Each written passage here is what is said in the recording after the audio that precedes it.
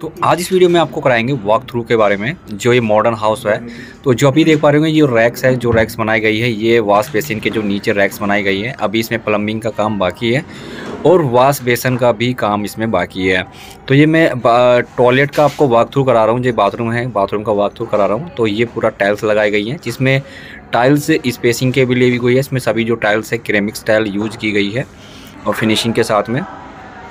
तो ये डोर्स हैं, ये वुडन का डोर्स हैं, जो काम ही किया गया है सुपर वुड वर्क्स के द्वारा, ये सभी जो काम इस वुड वर्क के द्वारा किए गए और यहाँ पे आप देख पा रहे होंगे जो वार्ड्रोप है वार्ड्रोप के अंदर जो रैक्स हैं, यहाँ पे भी जो स्लाइडिंग के लिए भी सभी यूज़ की गई है, सभी वुडन्स के अंदर यूज़ की गई है।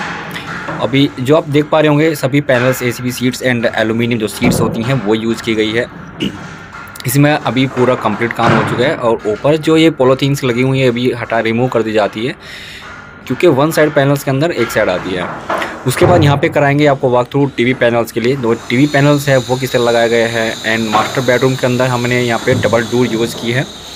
डबल डोर आप देखें होंगे कि आउटर जो डोर है, वो रोशनी के लिए नेचुरल जो रोशनी चाहिए रूम के वो लिए है। Plus mosquito resistance and anti mosquito and आपके बटरफ्लाइज जो होती हैं मक्खी हैं फ्लाइज के लिए भी इसमें यूज़ किया गया है। तो डबल डोर बेस्ट रहता है कि जो मक्खी होती हैं, वो भी नहीं आती है प्लस मच्छर हुआ है, वो भी नहीं आते हैं और रोशनी नेचुरल रोशनी देती है कमरे के अंदर। तो डबल डोर इसमें यूज़ किए गए हैं सभी में। तो सही एक लुक देता है, ये आप विंडो है, इसमें फिक्स विंडो भी यूज़ है एंड वुडन जो विंडो है, वो भी यूज़ में लगाई हमने। तो ये सभी नीट पॉलिश के साथ में यूज़ है, ये नीट पॉलिश किया गया इसके अंदर। और जो नेट्स हैं, वो डबल नेट्स यूज़ की है। बीच में ग्लास हमने इसमें यूज़ किया है, एक लुकिंग को बेस्ट करने के लिए। एंड बॉटम एंड टॉप के अंदर जो ये ठीक है? तो जो नेट विंडो है वेंट नेट दूर रहने वाला है इसके अंदर। हमने इसमें मॉस्किटो नेट यूज़ किया गया। उसके बाद हम यहाँ पे देखेंगे टीवी पैनल्स के बारे में। तो टीवी पैनल्स भी हमने यहाँ पे बहुत अच्छा किया है। जो हाइड्रोलिक जो पैनल्स हैं, होते हैं, जो ओपनिंग जो उसमें यूज़ की गई है, सभी हाइड्रोलिक यूज़ की गई है। एंड रैक के लिए भी बेस्ट यूज़ किया गया है। तो जो ये बॉटम में है, सभी डोर्स यूज़ की गई है और लुकिंग के लिए भी साइड में रैक्स बनाई गई है। अभी टीवी पैनल्स का इलेक्ट्रिकल का सभी काम हो चुका है। तो सभी जो टोटली जो काम किया गया है सुपर वुड वर्क्स के द्वारा किया गया है। उसके बाद हम यहाँ पे जैसे बालकोनी के अंदर देखेंगे स्टील रेलिंग अभी बाकी है और उसके बाद हम यहाँ पे देखेंगे पैनल्स के बारे में। इंटीरियर डिज़ाइनिंग जो पैनल्स हैं, वो भी वुडन के इसमें लगाए गए हैं। एंड बॉटम में यहाँ पे देख पा रहे होंगे, मार्बल्स यूज़ किया गया है। और अलमारी के अंदर जो वार्ड्रोप है, इसमें डबल रैक्स के अंदर, डबल रैक के लिए यूज़ किया गया है। यहाँ पे आप देख पा रहे होंगे, डबल रैक है। और डोर के लिए भी इसमें हाइड्रोलिक का यूज़ किया गया है। यहाँ पे बेस्ट हाइड्रोलिक इसमें सभी टोटली जो ओपनिंग है, जो जैक है, इसमें हाइड्रोलिक के ही सिस्टम किया गया है। इसमें भी टोटली वार्ड्रोप जो ओपनिंग है, ये भी हाइड्रोलिक है। और इसमें जो खर्चा आ जाता है, जो मॉडर्न रैक्स हैं, सभी में जो खर्चा होता है, वो अच्छी क्वालिटी का ही इसमें यूज़ किया गया है। ग्लास के लिए भी इसमें जो रैक्स होते हैं, जो डब्बे होते हैं, वो भी बेस्ट इसमें यूज़ किए गए हैं। और पैनल्स हैं, वो लगाए गए हैं इसके अंदर। तो यहाँ पे सभी जो टोटल रैक्स हैं, वो लगाए गए हैं। और चिमनी के लिए जो आप देख पा रहे होंगे, चिमनी के लिए हमने इसमें विंडो को एक पैनल से ढक दिया गया है। ये किचन का आपको वॉक थ्रू कराया है किचन के अंदर जो भी अलमारी है, ये किया गया है। और किचन के जो काउंटर टॉप पे है, एक पत्थर लगाया गया है ग्रेनाइट का। और जो नीचे काउंटर के जो नीचे है, वो भी हमने रैक इसमें यूज़ की गई है। तो टोटली रैक्स हैं, ये भी हमने स्लाइडिंग के लिए यूज़ की गई है। तो सबसे बेस्ट है इसमें टोटली रैक्स के लिए यूज़ की गई है। सबसे हमने अच्छा बनाया है रैक्स के लिए।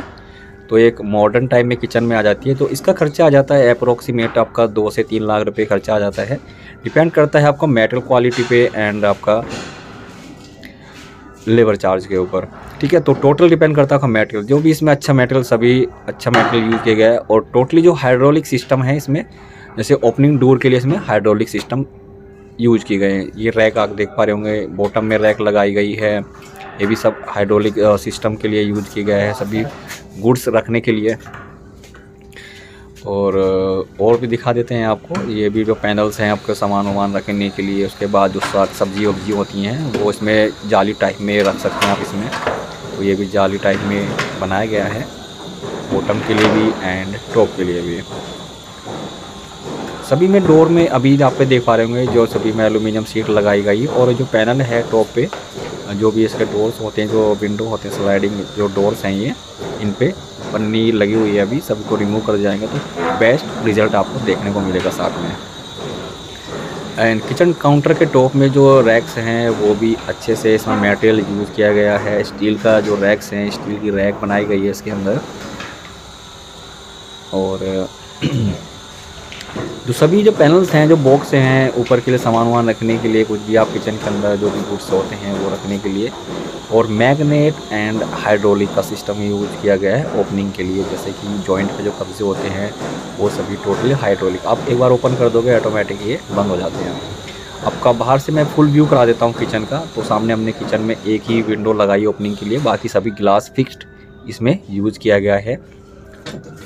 अभी किचन का है ये पूरा मॉडर्न किचन बन जाती है। एक मॉडुलर किचन बन जाती है मॉडुलर टॉयलेट बन जाता है मॉडुलर सिस्टम में आ जाता है। बॉटम में टाइल्स लगाई गई हैं, जो कि दो बाई चार की हैं, दो बाई आठ की बनाई, दो बाई चार, दो बाई दो में बनाई गई है। फ्लोरिंग सिस्टम एंड उसके बाद हम यहाँ पे दिखा देते हैं आपको वार्ड्रोप के अंदर। वार्ड्रोप में क्या सिस्टम रहता है यहाँ पे? तो वार्ड्रोप में भी सभी रैक्स बनाए गए हैं, इसमें टोटल रैक बनाए गए क्लोथिंग के लिए एंड अदर साइड में भी गुड्स के लिए जैसे कि कोई कपड़े होते हैं, वो रैक बनाई गई है। वन साइड में कोट वोट्स के लिए अदर साइड में रैक्स बनाई गई है कोई भी गुड्स वोड्स रखने के लिए। तो इसमें टोटली अच्छा मेट टोटली इसमें अच्छा मेटल का यूज़ किया गया एंड वुडन बोर्ड का यूज़ किया गया इसके अंदर। और सिस्टम आपको दिखा देते हैं अभी। तो इसका जो खर्चा आता है अप्रोक्सीमेट पर स्क्वायर फीट के अकॉर्डिंग आपका 400 से 500 पर स्क्वायर फीट में इसका खर्चा आ जाता है बनम विद मेटल के विद मेटल के लिए। एंड टीवी पैनल्स यहाँ पे देख सकते हैं आप टीवी पैनल्स के लिए भी, ये मास्टर बेडरूम के लिए गया है। और डोर के साथ में ही विंडो दी गई है। और ये विंडो जो टोटली काम किया गया है M S super wood works ने किया है टोटली जो काम किया है। आप हमसे कांटेक्ट कर सकते हैं किसी भी विंडोज़ एंड डोर्स बनवाने के लिए। जो कॉन्टैक्ट नंबर है वो लिंक डिस्क्रिप्शन में आपको मिल जाएगा। शॉप का एड्रेस है ओल्ड रेलवे रोड सेक्टर पाँच, गुड़गांव। एंड बाथरूम का भी मैं दोबारा आपको वॉक थ्रू करा देता हूँ यहाँ पे। बाथरूम के अंदर अलग अलग जो बाथरूम है वो इसमें लगाए गए हैं। अभी प्लम्बिंग फिटिंग्स अभी बाकी है। और टाइल के लिए हमने ceramics tile and vitrified tile लगाया गया है इसके अंदर। और जॉइंट जो जॉइंट होते हैं उसके, उसमें हमने पट्टी यूज़ की गई है।